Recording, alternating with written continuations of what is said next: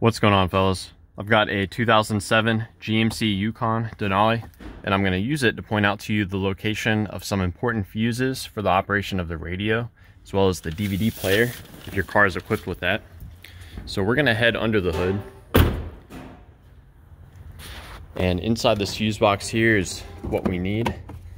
So you just pull on the little edge right there and get this up and over.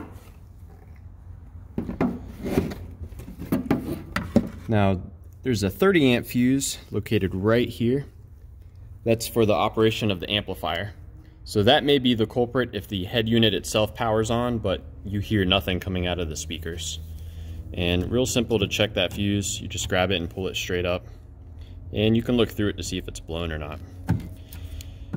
And there's a fuse directly across from it, this 15 amp fuse. And that one is for the operation of the radio itself.